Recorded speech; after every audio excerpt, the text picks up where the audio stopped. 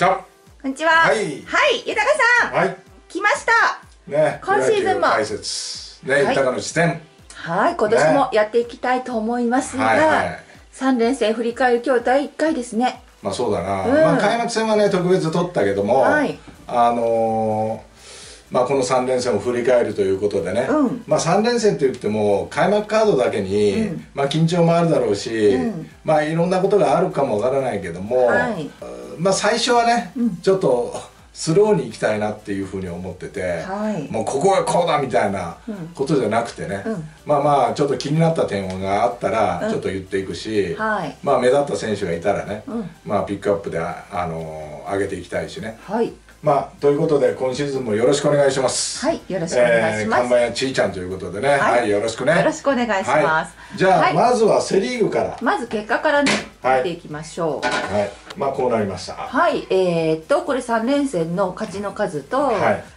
引き分け負けの数ですね。はい。ヤクルト対中日はヤクルトの2勝1引き分けはいということになりました。はいえー、とジャイアンツと阪神は2勝1敗でジャイアンツの勝ち越し、はい。d n a 対広島は2勝1敗で d n a の勝ち越しということになりました、これ、えー、と左側向かって左側はい。が、まあホームチーム。全部ホームチームでね、はい。勝ち越したということなんだけども、はい。まずはヤクルト対中日、うん。ね。えー、1戦目、はい。非常にいい形で、まあ、中日がリードしてたんだけども、うん。やっぱこうフライをこう見合うとか、うん。まあいろんな守備の破綻から、まあ、逆転されて、まあ、負けてしまうんだよね。はい、うん、それで2戦目は、はい。あのーなんていうのかな。まあお互い譲らず4時間超えのゲームをやり、うん、まああのー引き分けたという、延長12回ね。延長12回1対ね1という。まあそうだね、うん。で3連戦目3戦目ね。はい。はい、で、まあ、初回からいろんなことがあって、うん。まあリクエストの応酬だったんだけども、ねえ。まあた中日の方は初回でもうリクエストけリクエストの権利を失うというね。2回ね。まあ際どいあのタイミングではあったけどもまあ言えば例えば西川春樹の、こうボーンとしたセカンドゴロ、うん。あれもちょっと躊躇したんだよね田中が、はいえーそれで内野安打になり、でピッチャー今日先発の、えーメヒアはい。がファーストのカバーを遅れて、うん。足が合わずに内野安打という。際どかったですけどまあね際どかったけどそういうところからほころびを、うん。を持ち、まあ、失点をしてしまったというね、うん。まあ、それが非常に、あのーまあ、残念であったというね、ねえ。いやだからこの3連戦を見てると、あのーなんていうの中日の方は、まあ、ピッチャーもそこそこやっぱ頑張ってくれてるし、あとはさ、まあ、打つのも、まあ、中田がこのカードで2本ホームラン打ったりだとか、まあ、高橋周平が開幕戦ね猛打賞を打ったりだとか、はい。まあいろいろこう頑張りはし始めてるんだけども、うん。やっぱね、まあ、守りだよね。うん。ヒットの数はね各試合、うん。あの結構11本とか9本とかね、まあそうだね。結構出てるんですけど、はい。うん、だから、まあ、中日の方は勝ち勝てなかったけども、うん。負けたっていう感覚はないような、まあ、そういう3連戦だったと思うんだよね、うん。だからやっぱりいかに守りが大事かっていうのをうん。また改めて感じたカードだったと思うし、うん。開幕戦だったと思うし、うん。だからもう一度こうそこら辺を修正すれば、まあ、十分戦っていけるなっていう、ん。あのバッティングにしたってね、まあ、そう感じたし、まあ、これからちょっと頑張ってほしいなと思うよね。こう目立ったエラーとかそういったことじゃない部分での守備っていうことそうなんだよなですよね。だから記録に現れないんだけどもさ、いやなこう防げるエラーエラーではないけども、うんミスが重なったということだよね。細かなね。そうだね、んでヤクルトの方は、はいやっぱりね、あのー自分たちの武器、うんこれをやっぱ駆使してるというか、うんまあ例えばその並木の足であったりだとかさ、はい。まあ塩見の足であったり、うん。まあ西川の足であったりだとかさ、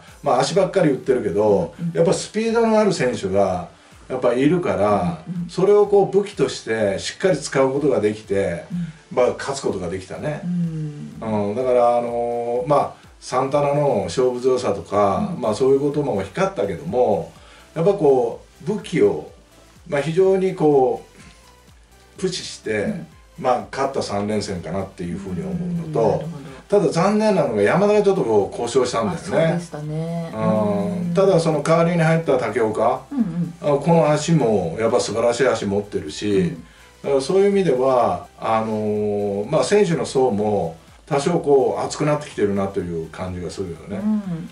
まあ村上がね少しタイミングがまだ合ってないけどもまあここら辺はこう徐々にねまあ上げていくというふうには思ってる。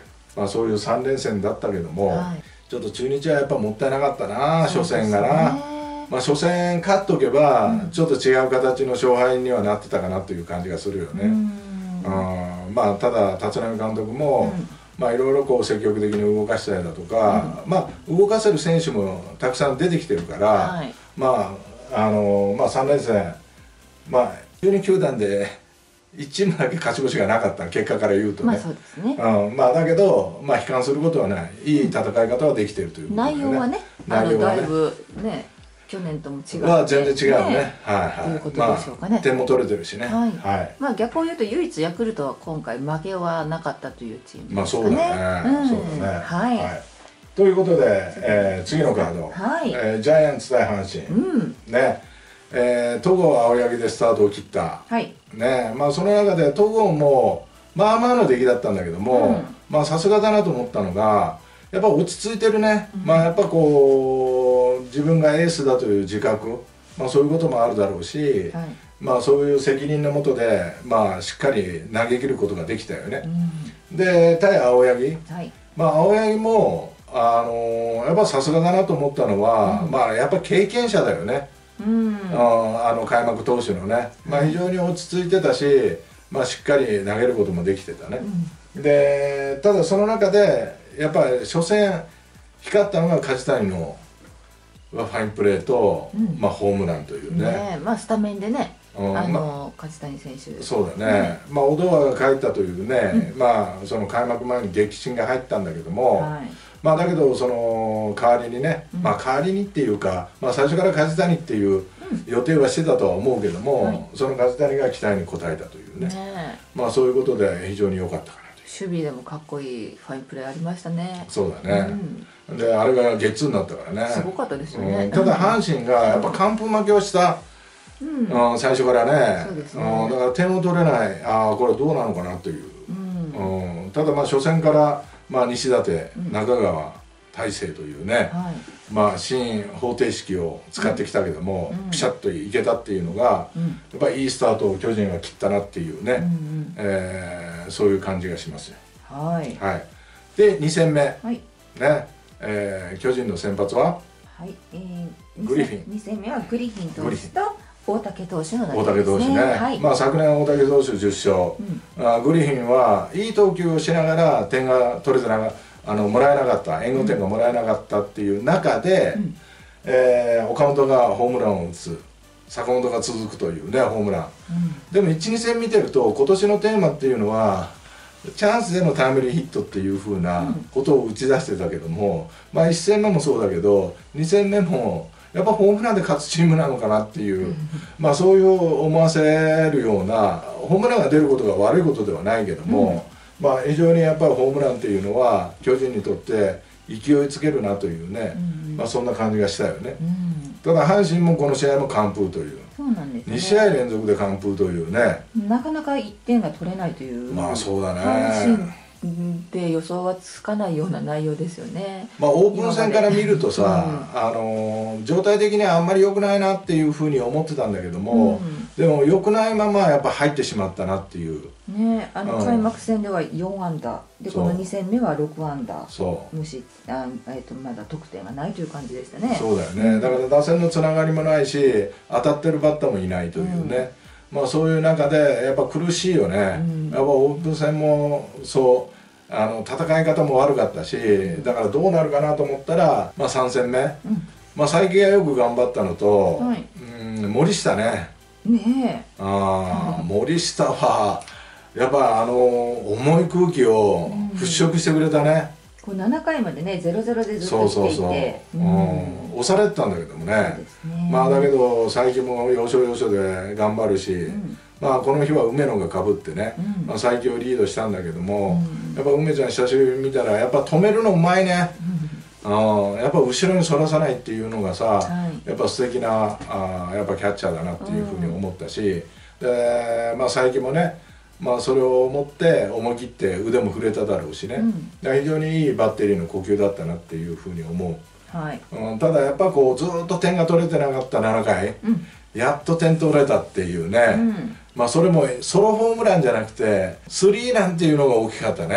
ねえもう今までの2戦の無得点っていうことも含めこうちょっと雰囲気が変わるまあそうだね。一発だったですかね。うん。うんそれと、木浪がちょっと状態が悪い、うん。スタートはあんまりダッシュ良くない、うん。でその代わりに小畑はい。がホームランを打ったというね、うん。だから非常にあの、まあ、競争もっていうか、ね。まあ、そのチームの中の競争も激しくなってきたかなっていうね、うん。まあ、あとは小畑は守備だけだけどもね、はい。うん。だから木浪もうかうかできないというね、うんまあ、状況に追い込まれてきたんで、うん。まあ、ここからみんなの状態が上がってくるかなっていう甲子園に帰ってね、ね。うんまあ、そんな感じもするけども、うん。まあ、3戦目ゲラがはい。阪神の方は、はい。でゲラ三人目ね。うん、3人目でね、でゲラやっぱスピードあるわ、うん。ね。ただやっぱコントロールがちょっとざっとしてんのと、はい。まあ、変化球っていうことに関しては、あまり精度は良くなかったよね、まあ初めて日本での登板ということで、うん。まあ力も入ってるんだろうけどもやっぱスピードはさすがだね、うん。これはやっぱこうしっかりまとまってきたら、まあ、かなりの確率で抑えるなっていうふうには感じ、それと3戦目にジャイアンツの方ははい。あのー高橋礼はい。が先発したけどもこう新しくね加入して十分できるね。ああやっぱ見事にこう奥行きを使うというかさ、はい。そういうピッチングもできてたし、うん。まあ、高めを見せながら下で打ち取るという落としながら打ち取るということもできてたし、はい。やっぱ自信持っていいピッチャーだね。6回86球1安打1三振、うん。2つのフォアボールという内容ですね。まあ、見事なピッチングだったよね、であとはね中川が捕まったんだよ、うん、8回に予定してる、うん。だからまあここら辺がうん。ちょっとやっぱ不安かな。うん。ただその左ピッチャージャイアンツの、はい。えバルドナード。ーバルドナード、はい。これを8回に使ってもいいかもね。う、ん。うん。あの西舘が7回ってはい。いうふうに決めてたら、うん。バルダバルドナードかあ中川を8回って考えておいた方がいいかもかなるほど。な、うん。うんうんだからちょっと中川のねやっぱホームとか球筋がやっぱ素直だね、ううん。んだから捕まりやすいかなっていうふうにはちょっと考えてたんだけども、はい。まあ球自体はねまっすぐも綺麗いいけども、うん。まあだけどやっぱこう組みやすしという感じはするよね、うん。変則じゃないだけにね、なるほど。はい。はい。まあそういう3連戦でした。はい。ね。うんで次は d n a 対広島、はい。で広島の方はうね、ん。やっぱこうなんていうのこの3連戦で怪我人もいるし、うん。で森下がね2戦目を予定してたのが、うん。やっぱもう早々に回避になったんだよね、はい。でまあそういうことでちょっとなんかカープ開幕からちょっと足並み揃わないなっていうような、うん。まあ、そんな感じがしてたんだけども、はい。まあその中で d n a うん。まあいきなりやってくれたのが渡来。いや やってくれましたね。やってくれたな。あ 本当にな。あもう思うようにできたでしょうね。そうだね。で栗と東でね、うん。始まったんだけども、はい。まあ東の状態も良くなくてさ、うん。やっぱこう昨年そんなに連打食らうかっていうぐらい連打食らって、うん。まあ、3点リードされて、はい。まあ、その裏だよね。ね。渡来2人置いて、はい。栗の抜けたスライダーかなちょっと高めの、それをこうホームランというね開幕でのスリーランというね、ルーキーがね、はい。だから非常にあのオープン戦のえいつ落ちるんだと思うぐらい状態を保ってるよね、これまたね取られた後の3点っていうのもまたすごいやく大きでかいでなかい、ねうん、まあ下位打線からねつないできてうん一番に戻ってきて、えー渡来がああいうふうに打ってくれるっていうのは本当に心強いよね、え。ねだから渡来しかなんかこの3連戦で目立ってないというようなまあ、そんな感じがするんだよね。ちょっと活躍ぶりが素晴らしすぎましたね。いや素晴らしすぎるもう最高ですっていうのは でも安倍晋之助が最初に言ったんだからねあれね。あまあ松井秀喜も言ったけどもさまあだけど新しいフレーズを考えた方がいいなっていうふうに思うまあよねでもなんかオリジナリティのある言い方でちょっとね 浸透しつつありますよね。まあまあそうだね。まあだけどそういう渡来のね活躍でね、なんか3点取られたものをすぐ払拭して嫌な雰囲気をね、ん。で勝ちゲームに持っていったっていうところがやっぱこう躍動してるなっていう感じがするね、えー石上っていうのもさ、はい。まあ、ショートで使われてね、まあ、躍動もしてたし、はい。まあ、プロ入り初ヒットも打ったしね、はい。だからそういう意味では非常にあの新しい人材、うん。新しいこう戦力が非常に活躍したかなという感じがするよね。うん。で一方広島。はい。広島の方はあーまあ栗はね決して悪くはなかったと思うんだよ。うんね。あの渡来に投げた1球だけがなんか嫉妬みたいな形でそれを逃さなかったというね渡来の方がやっぱ上だったんだけども、あの栗を見ててまっすぐのスピードもちょっと上がってきてるし、あの今年非常に安定的に勝っていけるんじゃないかなっていうような気がしたよ。うん。うん、まあ開幕の硬さとか、まあ、いろんなことがあったけどタフなピッチャーだけにね、はい。まあ、広島ちょっとピッチャーが足りなくなってきてるんだけども、うん。まあ、その中でよく頑張ったなっていう、うん。まあ、だけどうん球の勢い、まあ、キャンプの時は話をしたらさ、うん。まあ、ちょっとスピードをね、えーアップさせるためにいろんなトレーニングもしてるし投げ方も少し変えてるっていう。でもその成果はしっかり出出てたから、なるほど。まあまああの勝てはしなかったけども、うん。まあ、今後に期待ができるなっていうような感じがした。うん。で2戦目はねはい。森下の代わりに黒原がそうですよね。あ急遽先発になったんだよね、うん。まあ急遽っていうかその前からき黒原っていうふうに決まったんだけども3球で先発ピッチャーがうん危険球退場になったら、いやそりゃねもうブルペンはね慌てるよ。もうだってそんな予定はしてませんかもらね。う全くな、で当てられたのが渡来、うん。うん、まあ元気よく出てきたけども、うん。その後出てきて2本打数4安打、ねどうなってるんでしょうね。あわやサイクルヒットうん。三塁打が出たらなんねかスイッチが入ったんでしょうかねいやスイッチがさらになんかね当てられてからなおなんかベースに近づいてるっていうかもうその残像は消しましたみたいな。全然怖くないみたいそうですね,、だね。だからこうなんていうの明るくチャラチャラしてるように見えるけども、ハートは熱いもんあるねあの子はね。とてもしかも闘争心を感じますよね。そうだな。中にも。いや本当だね、うん。あれでひるんでさ、うん。その後打てませんでしたじゃさ、もうしょうがないけども、あのその後4安打打ったからね、うん。だからまあ大したもんだなって。だからなんかそれが光っちゃってさ、はい。誰がどうだったのっていうのはもう別問題になってきてるよね、本当にね、うん、だけど、まあ、2戦まで d n a が連勝したというね、うん。まあそのオースティンも戻ってきて牽制アウトにはなりながらも、はい。あの頑張ってるよね 打つ方はね、はい。3本打ったり猛打賞打ったりだとかさ、ね。まあなんかこうチームに非常に今年は貢献してくれるなっていうようなね。ね。まあ、そんな感じがしたし、うん。だから非常にいい感じで進んでた。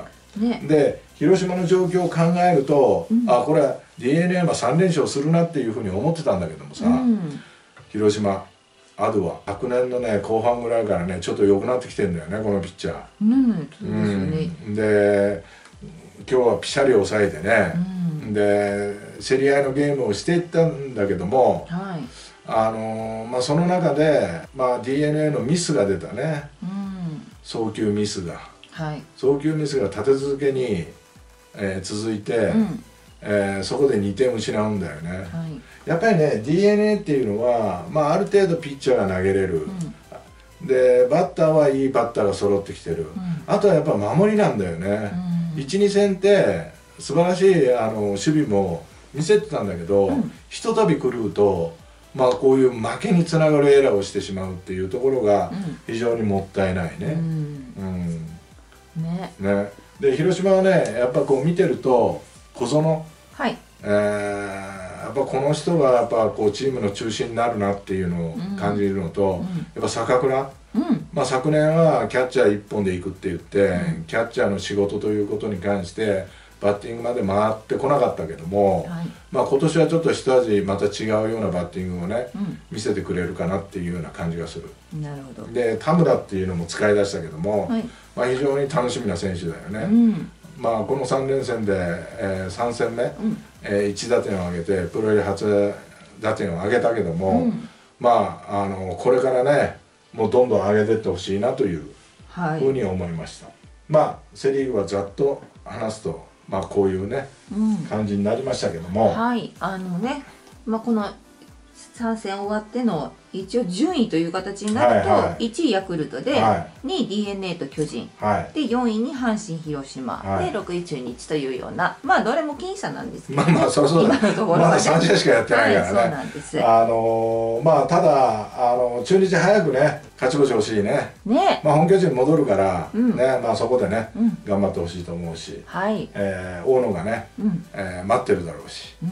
ね、エースが戻ってきてるからね今年はね。ね。はい、まあ、ということで。まあはい。記録もいっぱい出たんだよ。涌井の2000奪三振とかね。そうそうそう。うん、で渡来があの史上初のうん。開幕から2戦、2戦続けてのね。ルーキーがねホホームランっていうのも出てるしね、うん。まあいろいろ記録もあるけどもまあまあそういうセ・リーグでした。はい。はい。続きまして。はいパ・リーグ行きましょう。はい。パ・リーグはこうなりましたはいこれね、は対照的にねホームのチームがちょっと負け越してしまいましたがね。はい楽天対西武は西武が2勝1敗の勝ち越し、はい。オリックスとソフトバンクはソフトバンクが2勝1敗の勝ち越し、はい。えー、とロッテと日本ハムは日本ハムが2勝1敗の勝ち越しという形になりました、はい。でまずはその楽天対西武ね。うん。で今井と早川のお投げ合いでスタートしたけども、はい今井はすごいな。やっぱ打てないよ。見てて打てないだろうなと思うもうん。んやっぱ力あるわ。うん。で早川は対照的にはい。やっぱ変化球を駆使しながら、うん。だから低めにボールを集めて打ち取っていくというね、うん。まあ素晴らしい投げ合いが見られたけども、はいまあなかなかやっぱり打てないね。今井投手は7回116球で2安打の11奪三振。そうフォアボ2ール一つ。安打だよ、でうん。11個の三振取ってるといううねん。うん、でまあこの中で決勝タイムリー打ったのが外崎ね、ねうん、で西武はどうやって点を取るかっていうことが、うん。まあ非常に課題だったんだけども、はい。まあ外崎がやってくれたというね、うん。うん、で1戦目はやっぱり今井が先発してうん。11奪三振取られてるとなかなか勝ちゲームには持っていけないよ、もうね。うん、やっぱこう先発ピッチャーがある程度やっぱ押し込んでいかないとね。だまあそういう戦い方だったけども、うん。やっぱ西武の今年のその投手力の強さというかね、まあ、そういうのを見たような感じがするし。言ってましたもんね。豊さんずーっとね西まあ武のピッチャー陣打てないぞって。優勝に上げてるからね。そうね。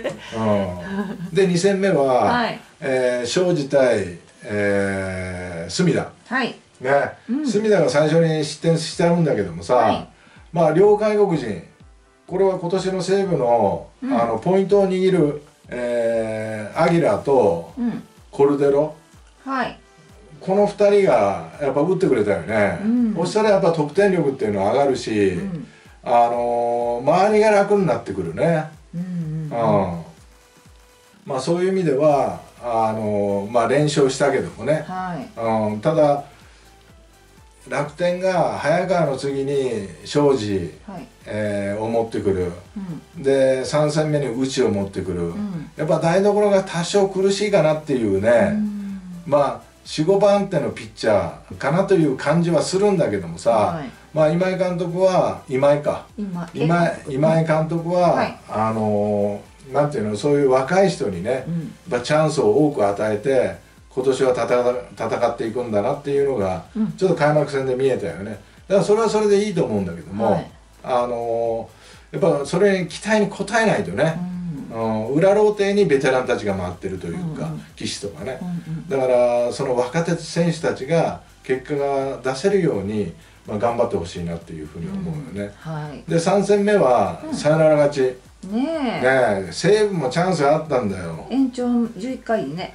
そうそうそう、延長11回、うん。えー小深田のサヨナラ犠牲フライ。うん。でね、まあ、三塁ランナーの辰巳。うん。幸之助？ええっ、と。もう一人の辰巳じゃない方ね。あのそうあのレギュラーじゃない方。あの見るという字のねそうそうそう。辰巳の見るという字のはい方ですね漢字がね。ただ今井監督は、うん。外国人を落としてまでも、うん。やっぱそういう足の使える選手をはい。上げてきた。うん。だからそういった意味では非常に采配とか、うん。あーそういったものは度胸座ってんなっていうような感じがしたよね、うんで監督としては PL 対決なんで、そうですね。うん。うん。松井和夫。はい。ね西武の監督。ね今井、うん。ね、楽天の監督、ねで「いやもう勝ちたいですね」って言ったら「お前よう言うな」って会見で言われたらしいけどもさ やっぱ先輩後輩って、うん。まあ、PL って厳しいからね、うん。まあ、そこら辺でもさ牽制の試合っていうのは面白かったんだけども、はい。まあ最後もね、うん。西武もね勝てたんだよね。う、んで外崎がツーベースに出て次4番に回ってきたんだよ、うん。でバントするかな、まあ、右打ちさせるかなと思ったら、うん。まあでも4番で新外国人で、うん。まあバントはまずまあ本当にないわな、うん。でも気の利く外国人だったらちょっと右打ちをしてランナー進めようかなとか、うん。まあ、そういうことがあるんだろうけども、まあ、あそこの攻撃がちょっともったいなかったね、まあ、せっかくあの、まあ、3点を取って、まあ、3点取り返されて、ん。あの楽天のミスもありながら3点取って、うん。3点すぐ取り返されて。うん。ね、ずーっと膠着状態が続いてそうや延長までね。そう。やっとチャンスがもらあったんだけどもさ、うん。やっぱそこを生かすか生かさないかっていうのはやっぱ打てないチームのやっぱもう題名だね、ね課題だね。ううんんあそこで1点を取って逃げ切る、まあ、ピッチャーがいいだけにね、うん。うん。だからまあそういう面では西武3連勝できたかなって思うけどもやっぱ今井監督のそういった采配、うん。えーそういうものも光った一勝だったかなっていうのはなんとかねいい勝もぎ取るというね。まあそうだね。もう本当延長戦長い試合でしたけど。はい、はい。はい、ということでオリックス対次はソフトバンク。ねねはい。えーまあ2勝1敗というふうに、うん。えーソフトバンクが、まあ、勝ち越したけどもね、うん。えー有原対宮城で始まった、はい。やっぱ有原も安定してるね。うん。やっぱ日本で十分な実績を持ってメジャー行って、うん。メジャーから帰ってきてね。えー非常に調整期間をしっかり設けて、うん。昨年ね。はい。で投げられる投げられるようになってうん。で今年の開幕という。う、ん。やっぱさすがにねやっぱ実力者だわ、うん。あそう簡単には打てるところには投げてくれないで宮城もそうだね、宮城もやっぱり山本が抜けてあの自分がエースだということで、まあ、必死に頑張ったんだけども、まあ、その中でやっぱり山川だな。ソフトバンクに移籍してね。あれねあそこの球、まあ、外のまっすぐなんだけどさ。ホームランの話ですあかあそこ放り込むもんね、うん。やっぱさすがに力あるなと思うようね、んだからそういう意味ではその山川が入ったっていうのは、うん。やっぱソフトバンクには大きいよね、うん。これはね。なるほど。うん。だからまああの初戦は、まあ、山川のその圧に負けたかなっていうね、うん。まあそんな感じがしたよね。ねまあ、その中でやっぱこう山川がいることによって4番にうん。柳田。うんあーがえーすごく楽に、まあ、仕事してるなって感じるし、うん。まあその山川の後ろを打つ近藤、うん。この人も少し負担が軽くなったかなっていうふうに思うよね。うん。うん、だから非常にいい打順の流れをしてるなと。で今宮がやっぱこう元気だから、はい。やっぱチャンスメイクをしてくれるといううんね、だから非常にいい流れを持ったあの開幕カードだったね。まあ1戦目だったね。はいはい、で2戦目、うん。でオリックスがやり返すんだけども、はい。まあ外国人。うん。ね、えーピッチャーが投げましたねオリックスの方は。はい。エスピノーザ投手。エスピノーザ、はい。ね、ボールがよく動くし、うん。まああのなんていうのバッタバッタっていうよりもさ、打たして取るような感じ、うんで山川がやっぱこう、まあ、さ昨日ホームラン打ってるんだけども、はい。2つのダブルプレーだとか、うん。あの結構ねボールが動いて沈んだりとかするから、ボールが持ち上がらないんだよね、だからゲッツーを取れるという大事なところでね。だからそういう意味では非常にいいピッチャーだなというね、えーことを感じたしやっぱ初物っていうことに関してやっぱこう情報があまりなかったせいか、なかなか打ち崩すことができなかったよね。うん。うん。ね。なんだ？ソフトバンク？はい。はい6安打。6安打だよね、うん。あのエスペノーザからは？エスノーザは2安打しか打たれてないです、ね、そうだよね。うんだからまあチャンスらしいチャンスもなかったしさ、うん。まあ、チャンスが広がるかなと思ったところでダブルプレー取られるし、うん。だからなかなかこう打線のつながりにねちょっと欠けたという2戦目だったよね、ははい、でもこのピッチャーは今後やっぱりややるだろうなっていう安定感あるなっていうようなことは感じさせてくれたよい、ね、はうん、ねい、うん、逆にオリックス3安打で勝ってるすごい試合ですまあね、まあそうだね。あのーなんていうの、えー誰だっけ？あの先発。先発？ああえーモイネルモだ、はい。ああ今年からね先発するということで、ね完投しましたけど、ね、いやいややっぱいいよね。スタミナもあるし。でもセデーニョはい。にまあ宇宙間にホームランを打たれたんだけどもさ。それが唯一のねツーランで。まあそうだな、はい。失点ですけど。だあれもさまっすぐしか狙ってないっていうふうにもう談話でも言ってんだよね。あーそこにまっすぐ投げてしまったというね、まあボールにするつもりだったのかまっすぐを誘い球に使おうとしたのかそれが甘く入ったのか。だから先発ピッチャーって怖いよね、うん。他いいピッチングしててもさその一発で泣くんだもんね、うん。だからまあモイネルもいい勉強したのかなっていうふうには思うけども、ね8回90球3安打4奪三振うん。1フォアボールで、ね、2失点というこまあとで、そうだね。まあ安定感はあるよね。負けてしまったんですけどね、うん。まあ負けたとはいえ、まあ、次のピッチングっていうのは期待ができるよね。すね。まあ安定感抜群だねあのピッチャーはね、はい。はいただ負けたらいかんというピッチャーだからね。ね。はい。ソフトバンクの中ではね、うんで3戦目、うん、はい。まあこの試合はあのウォーカーがうん。ねホームランを打つとか。はい。なんかこの3連戦見てると、うん。まあ新戦力ね。と言われる人たちが、まあ、躍動してるかなという感じがするんだよね。ルー。キー移籍組ですかね。はい。うん。で田島とスチュワートが先発だったんだけども、あのまあそうだな。田島宮城でやられるとは、まあ、どっちか分かってくれるんじゃないかなっていう計算のもとで、うん。まあ、オリックスを送り出してると思うけども、うん。ちょっとバッティングがちょっと低調だな。うん、この日も4安打ですからね。まあそうだね、うん。だからソフトバンクの方も万全なピッチャーを揃えてきたって言えばそれまでなんだけどもさ、はい。まあ、ちょっとバッティングがね振るわないなっていう。うん。でソフトバンクの振るわない中でもやっぱ一発が打てるバッターたちがいるということだよね、うんまあオリックスの方はセデーニョだけがなんかちょっと一発で目立ったぐらいで、ん。だけどなんかこう怖さから言うとやっぱソフトバンクの方がちょっと怖いようなうん。打線を組んでるよね、うん。やっぱこうオリックスは少しつながりが欲しいかなっていうような、まあ、そういう3連戦でした。はい。ね。うん。はい。で続きまして千葉マリン対、えー日本ハム。はい。ね。初戦、えー小島対伊藤大海。うん。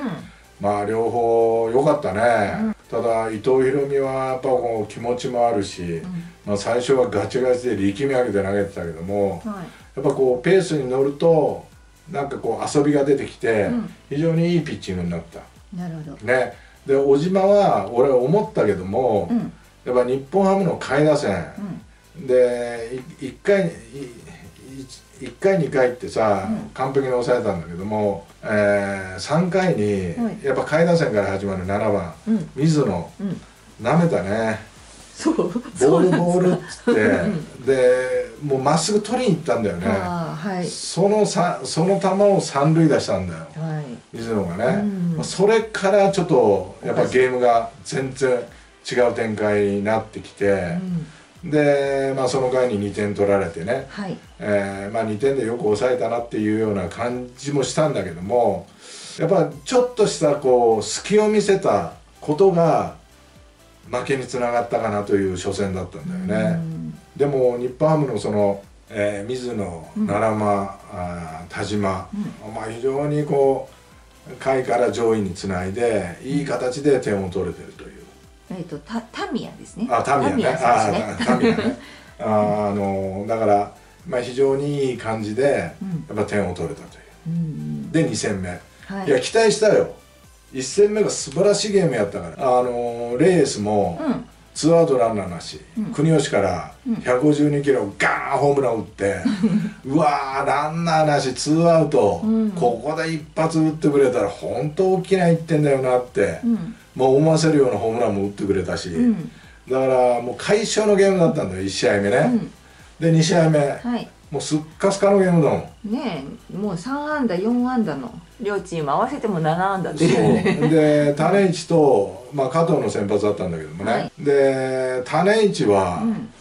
あのまっすぐがさやっぱいいし、うん。フォークも落ちるし、んだから日本の選手がやっぱ初球とか見逃すんだよねまっすぐを、うん。いや準備早くしとかないと追い込まれてフォークなかなか打てないよって思ってたんだけどもその通りになってさ全く手も足も出ないというね、いうような攻撃だったで加藤も点を取られた以外は、パーフェクトに抑えてんだようね、ん。うん、で種市が唯一あのーなんて言うんだろうピンチを迎えたのは、うん。連続フォアボールからなんだよ。うん。で野村に回ってきてどうするかなってバントさせるかなっていうふうに思ったら、うん。まあ強行して、うん。まあ、結局点が取れなかったんだよね、はい。まあ、その裏だよ、うん。ね加藤がちょっと崩れたのが、はい。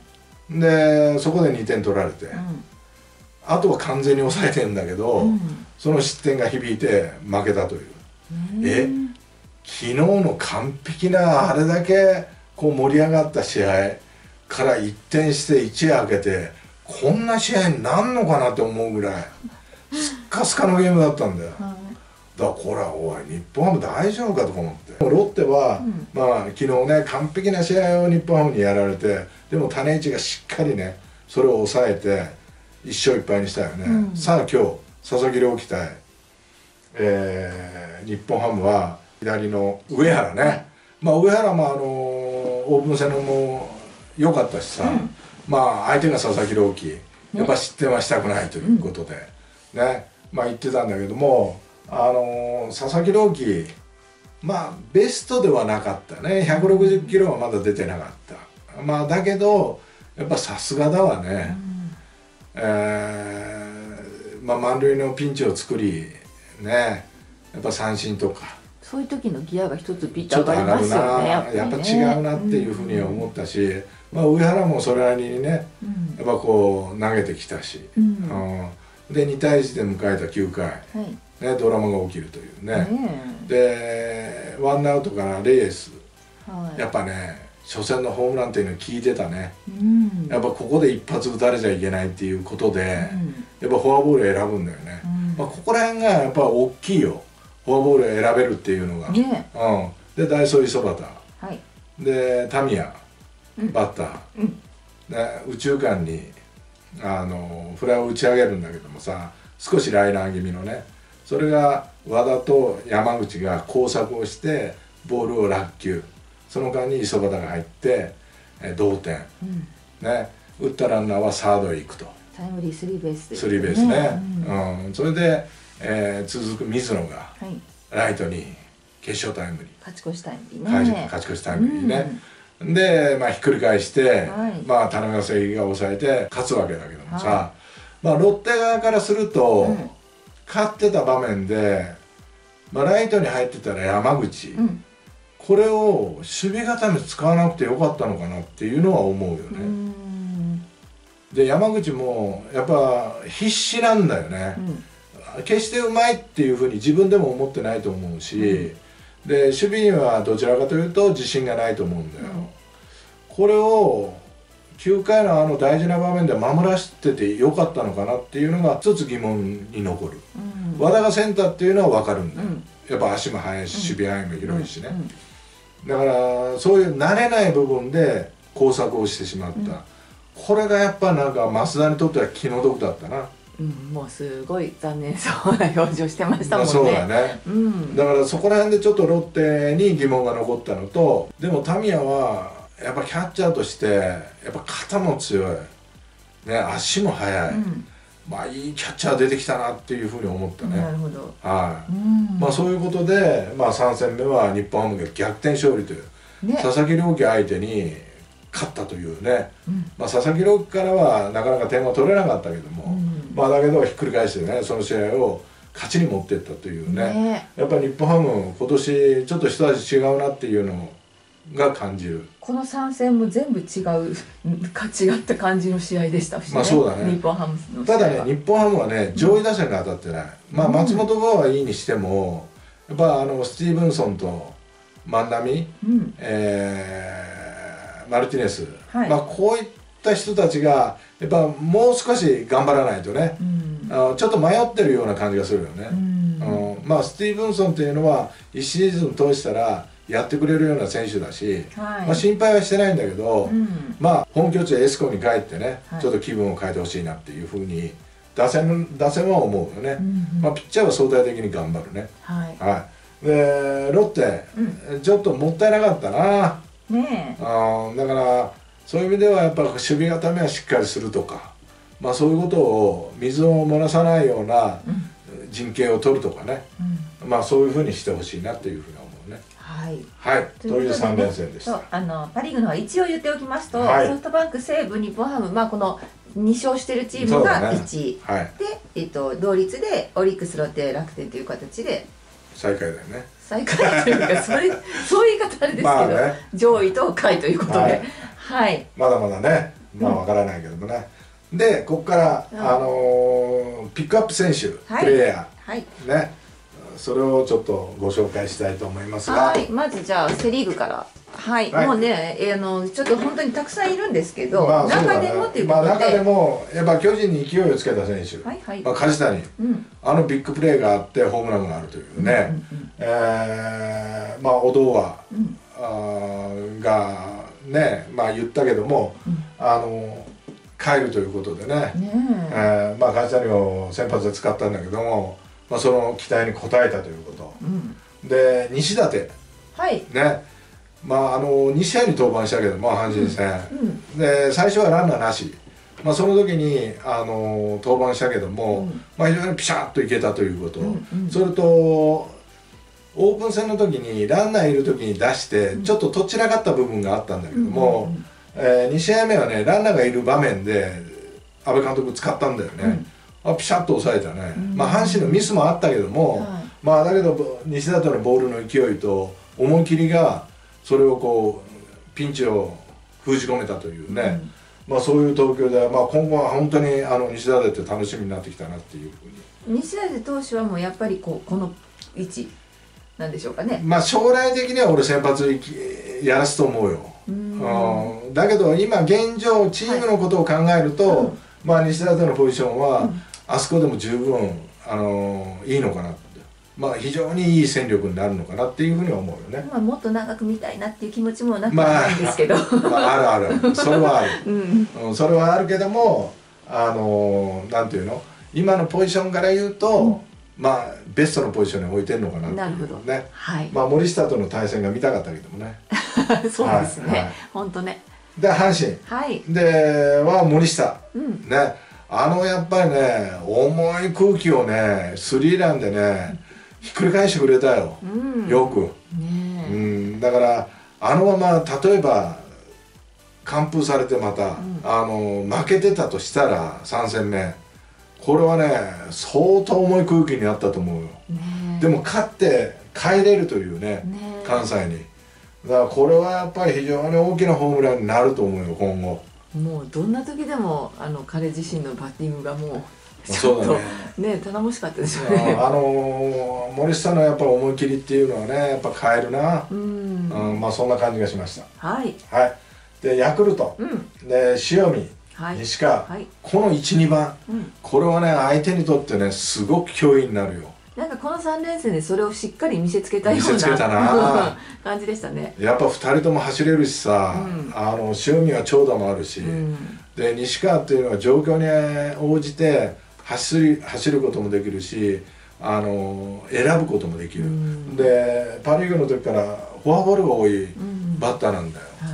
だから選球眼もいいということでこのヤクルトにとってはこの12番が揃うっていうのは相手には脅威になるねやっぱりね、うん。まあ、想像してた通りのなんか活躍をしてくれたね、うん。はなんかその二人でコンビの名前つきそうですね。そうだなまあっと考えて2人ともやんちゃだからなこうねなんか頭文字取ってとかいろいろ考えましたけど、まあまあそうだね。なんかできそうですよね。まあなんかちょっと応募したいからコメント欄にこのコンビの名前を名前一番。のねねうん、ちょっとね考えてほしいよね。ねで3戦目に先発したうん。ヤフーレ、え投手ね。ああこれ面白いね、面白い。うんボールはよく動くし、うん。まあ中田にホームラン打たれたけどもさ、はい。だから非常に安定して投げてるよね、うんうん。うん、だからあのーやっぱりヤクルトって投手力がね少し手薄だっていうふうに言われてる中で、うんうん。まあ、ヤフーレがいてくれるっていうのは、うん。一つちょっと安心感が出てきたかなっていうような感じがするようね。ん。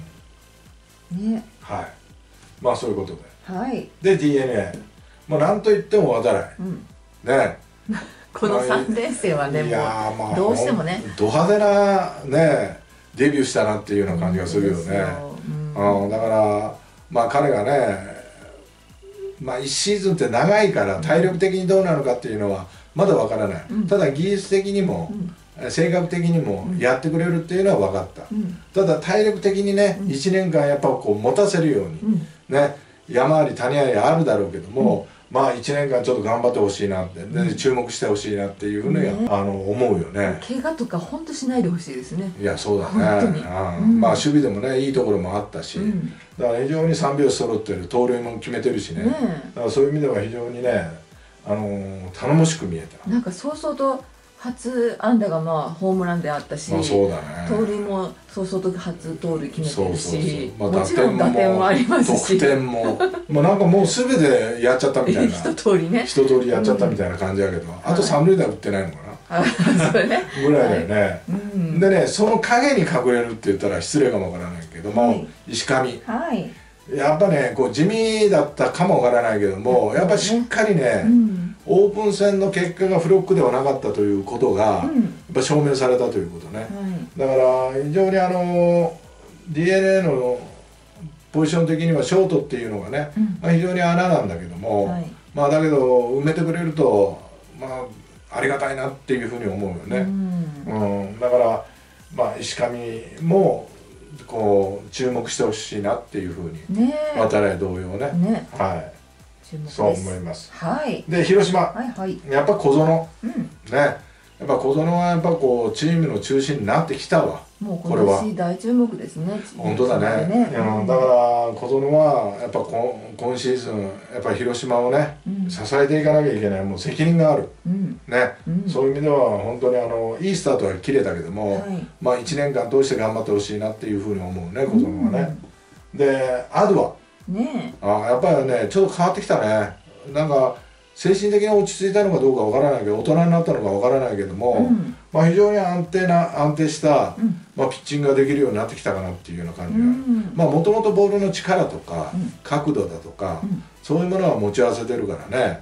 だからあとはどういうふうにまとまるかだったんだけども、はい。非常にいいまとまり方をしてきてるね、ううんんなるほど。もうねあの愛媛松山清涼高校出身なのでね。うん。とても注目は私はしていたんですけど、はい。もうこれはあのこ今年は先発というようなまあそうだよね。ところなんですか、ああいうもんやってくれると思うし、うん。まあ早々に一勝できたから、うん。まあこれをこうなんていうのバネに、うん。まあ、頑張ってほしいなと思うよね。ねえ。はい。はい。で中日、うん。ね。やっぱ中田。うん。ね。あの3連戦で2本のホームラン、うんまあ、存在感を見せつけたけども、だから中田がねやっぱいるから、やっぱ123番あののこうなんていうのかな出塁うん。こういうのに、まあ、中日はやっぱりかかってるかなというね、うん。まあいろいろ3連戦で大島を試したりだとか、うん。まあいろいろしたよね、うん。まあ、細川を5番から3番に戻したりだとか、うん。まあいろんなことを試したけども早く固定のメンバーで戦えるといいなっていうふうに思うよね、はい。で田中幹也。うんね。もうやっぱこう俊敏な動きもしてるしさ、うん。まあ2番を打たせたり今日はちょっと下げたけども、はい。まあだからこういうメンバーがちょっと固定になってきてくれると、非常に中田の存在感っていうのが、まあ、出てくるかなという感じがするよね。うんまあ、例えば、まあ、ジャイアンツで言えば岡本の後ろに坂本が絶対いるとかさ、はい。まあ、そういうような形がうん。決まってくると中田がより以上にあの光ってくるかなという感じがするするよね。うん。まあね、中日に来てねもう早速存在感ははっきりしてどますこ行ったって存在感あるんだけどさ。もう打席に立ってるとやっぱ怖いですもんね、ま あ、迫力あるよな はい。というセ・リーグの選手でした、はい。はい、続きましてパ・リーグ。はい。はいピックアッププレイヤはい。ーね。はい。オリックス。はい。エスピノーザ。うん。ねあのー非常にやっぱボールの動かし方とか、うん。まずねやっぱコントロールがね安定してるっていうのが安心感あるね、うん。もうええやで投げないからさ、やっぱなんかこう、なんかね丁寧なんだよね、うん。でボールもよく動いてるし、はいあゲッツー欲しい時にこう沈めてゲッツー取ってるし、ん。だからそういう意味では非常にあの山本が抜けたけどもまた新たな選手が出てきたなっていう、うんまあ、そんな感じがするよね。ね。で山崎幸也も抜けてる、そうですね、まあ、都合 20, 20勝以上抜けてるんだけどさ、はでもなんか十分ねやっていける、ん。もうそんな感じがしたし、ん。まあ頼りがあるよこれからね、うん。はい。はい。まあちょっと注目ですね、はい。でソフトバンクはもう言うまでもないけどもさ、はい。まあ山川が入った、うん。ねホームラン存在感見せた、でなんていうの？山川が入ったことによってやっぱりこう言ったけども柳田うん。近藤うん。栗原、うん。こういった人間たちがやっぱ少し楽だよね気が、うん。あーだからそれも大きいということ。それに伴ってウォーカー、どはい。ね、DH に入る、うん。で守備やらなくていい。うん。やっぱ打つよこの選手は。ね。ああだ山本ホームラン争いするんじゃないかなっていうぐらい。うん。やっぱ状態もいいし、うん、だからウォーカーも入ったことによって他の選手が楽になるというね、うん。でホームランじゃなくていいんだって。近藤なんか特にそうだよね、うん。出塁と勝負強さあと打率、それを考えておけばいいって、ね。もう昨年は打つ人がいなかったからね。もうなんかホームランでも打ちに行ってたけども、うん。だけどそうじゃなくていいんだ。勝負どころで打てばいいとかさそういうことになってくる。この2人の加入っていうのは打線にとって有権系の影響力がすごすごくあるね、はい。で楽天、うん。ね小深田。はい。ね小深ちゃん。はい。やっぱね昨年からやっぱ盗塁王を取った自信かな、うん。まあ、バッティングも良くなってきたしあの、まあ、今日でもこの2人サードランナー、うん。辰巳、うん。えー、幸之助、うん。ねダイソーで使われて、もういきなり、ね、頭からホームに突っ込んでそれがサヨナラになったんだけど、そのフライを打ち上げたのが小深田。うん。ね。この小深田っていうのはやっぱこう楽天の中でやっぱ中心的な存在になってきたしね、うん。やっぱ打線を引っ張る上。もそうだけども打線をつないでいく意味でもやっぱ小深田の存在っていうのは大きいなっていうふうに思ったよね。うん。で辰巳やっぱねプロとしてのね武器がある、まあ、足というねちょうどね一軍に合流したっていうようなところでそうそうそうそう。すぐそうだね。で外国人と変えてでまでも、やっぱ辰巳を上げてきた、うん。その今井監督の期待に応えたよね。ね。もう本当にサヨナラの場面なんか「いけいけいけいけ」みたいな 今井監督は言ってたけども、うん。ね。でも行くにふさわしい足を持ってるよね。ね。だからまあこういった足を使える選手、うんやっぱり一つの特徴だと思うんだよね、うん。楽天の、うん。だから躍動してほしいなと思って、この2人の名前を挙げました。はい。西武、うん。えーコルデロ、うん。アギーナ、はい。ね外崎、はい。挙げてるけどもやっぱねこの3人。うん。あのー栗山とか、おかわり君とか中村のね、うん。うん。おかわり君とかもそうなんだけども、やっぱ常時出るであろう選手、この3人が打てば本当西武っていうのは安定的に勝っていけると。アギラーですね。アギラー選手です。アギラね。うん。看板が出てきました、ね。はい。はいすいません。はい。アギラ選手ね。はい。はい。あのーコルデロアギラ、はい。まあ、外崎うん。ね。この3人が本当に打てばはい。本当に西武はピッチャーがいいだけに、うん。あのー3点。はい。もしくは4点取れば勝てるよね。うん。ああそんな感じがしますはい。だからこの3人ねバッターとして頑張ってほしい。はい。ね。うん。はい。ロッテ、えー藤岡、うん。種市佐々木朗希、はい。まあ、やっぱね藤岡はねセカンドにコンバートされたということもあるかもわからないけども、うん。昨年の後半からやっぱバッティングが変わった。で今年どうかなっていうふうに思ってたら、やっぱ開幕カードからやっぱこうばいいバッティングを見せてくれてる。うん。で今日でも打ってたしだから非常にこう藤岡のバッティングが変わったということで、やっぱこうロッテの中心的な存在になってきたかなっていうふうにやっぱ思う、うんね。で種市、で種市はやっぱね今年ねまあ昨年10勝したけどもやっぱ今年それ以上にいくかなって、そのぐらいやっぱこうまっすぐの走りインサイドの使い方フォークの落ちどれを取ってみても、やっぱり一流のピッチャーになってきてるわ、うん。だから非常に期待感を持てます。はい。はい。で佐々木朗希、うん。ね。これからもっと良くなると思うけども、やっぱさすがだな、うん。あのーやっぱしっかりストライクを取るフォークと、うん。勝負に行くフォークを結構投げ分けたね今日なんか、うんうん。あだからまあもうもう一つ一皮むけたのかなっていうような、うんまあ、そんな感じのピッチングを今日見せてくれたんで、うん。だから非常に今年は勝つかなという。なるほど。期待大ですね。でローテーションを守れるかなという、うん。ただ一つ心配なのはやっぱこの佐々木朗希のフォークを止めれるのはやっぱ松川かなっていうふうに思ったね、ちょっとねあのーうん。ドキドキしますもんね。まあ、ドキドキするね、うん。だからそういう意味ではキャッチャーを松川にしてあげるともっと思い切って投げれるのかなっていう、なるほど。まあ、感じはするけどもね、うん。で日本ハム。うん。タミヤ。うん。水野。はい。下位打線が心配だったのよ。うんうん。で1番スティーブンソン。うん。2番松本剛。はい。万波、うん。マルティネスこういったあたりっていうのはさ、うん。すごく期待感があるし結果も残してくると思うんだよ、はい。でも下位打線がすごく弱かったんだよね、うん。オープン戦の時に。でどうすんのかなと思って見てたらタミヤと水野。まあタミヤはキャッチャーなんだけど走れるんだよキャッチャーでも。うん。肩がいい。うん。あとはやっぱフレーミングと、えーリードなんだけど、うん。まあ、バッティングもいいしさ、うん。このまま使い続けて成長させてほしいなっていう選手だね。でこの3連戦でも、うん。やっぱタミヤのバッティングがどれだけ光ったか。ね。ね。でショートの水野。はい。勝負強いしパンチ力もあるんだよ小さいけど、うん。でねやってる表情がいいわ。うん。あーこうもうずーっと真剣だもん。みんな真剣だけどもさ。それがなんかこう伝わるんだよね。感じれるんだよ。うん。なんとかしたいっていう。はいその思いが伝わってくる選手だね、だからハートのある選手。だからこの本当にこの下位打線。うん。まあもう一人は流動的になってるのかもわからない。セカンドがね、うん。まあ奈良間を使ったりだとかさ。まあ石井和もいるし、ん。まあいろんな選手がいるんだけども。だけどこの2人は安定的に使ってほしいな。いやそしたらうん、下位打線が充実する。なるほどだからそしたらやっぱり日本ハムって面白い、うん。うんまあ1戦目もそう。うん。今日でもそうだけどもさ、うん。この2人で勝ったみたいなもんだもん。なるほど。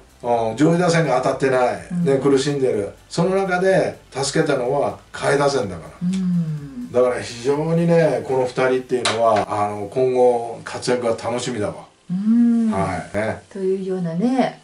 まあそういうことでね、はい。えーまあし昨年から随分相手のね3連戦を振り返るだったけども、うん。まあ、今年はこういうスタイルでいこうかなっていうね、ね。えー感じでやってます。はい。ね。ちょっと長いですけどもはい。どうか見てください。もうちょっと簡潔に喋れるようにね話まとめとけばいいんだけど、はい。でも簡素だとまたね内容が薄いかもわからね。ねいいそういうろいろ喋りたいから豊さんあそうだね。いろんなことまあ、ねただ試行錯誤しながら、うん。またこうどんどんね、えーなんかいいような、うん。いい動画にしたいと思いますのはい。で、ね、何かあったら、あのコメント欄に、うん。えーアドバイスください。はい、ね。またねこうやって始まりましたので、はい。どうぞよろしくお願いいはいたします。まあ、看板知事は含めて今年もよろしくお願いします。はい、よろしくお願いします。